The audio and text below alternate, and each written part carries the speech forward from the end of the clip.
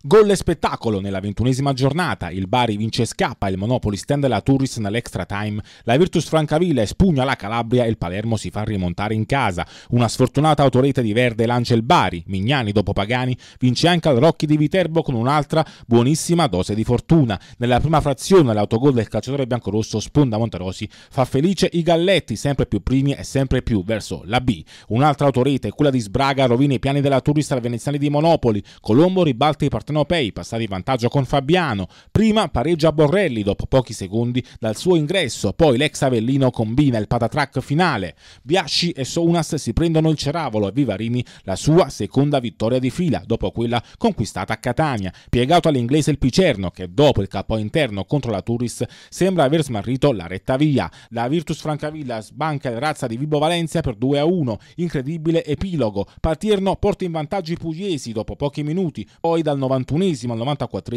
accade l'irreparabile, pareggia prima Curiale, poi Cecua due minuti dopo trova l'inaspettata rete per i Virtussini che restano così aggrappati al gruppone delle grandi. Al Barberi il Palermo di Baldini non riesce a bissare la vittoria di pochi giorni fa contro il Monterosi, facendosi rimontare nel derby dal Messina. Doppio vantaggio rosanero griffato Brunori e Valente in gol al minuto 13 e al minuto 41. Sembra fatta, il Messina della prima frazione non è sembrato pericoloso, ma nella ripresa Raciti trova in Gonzalo Gonzalez e Margini hanno due risorse importanti e pareggia una gara che sembrava ormai compromessa. Il Taranto non torna a gioire lo Iacovone, Giovinco Junior dopo due minuti illude i ragazzi di Giuseppe La Terza. Il campobasso di Cudini non riesce a sua volta a vincere la sua seconda gara di in trasferta dopo quella di Andria, ma grazie ad Emmausso si porta a casa un punto preziosissimo. La Fidelissandria di Ginestra torna invece a fare punti contro il Catania, al degli Urivi finisce 1-1 in gol prima Risolo per i pugliesi, Brussotto nella ripresa salva Alba Yetnei. È ufficialmente entrata in crisi la Paganese, seconda sconfitta in casa consecutiva per i ragazzi di Grassadonia. Gli azzurro-stellati passano in vantaggio con Tomasini, ma poi Carletti ed Ercolano in 10 minuti ribattono la contesa lanciando i puntini in piena zona playoff.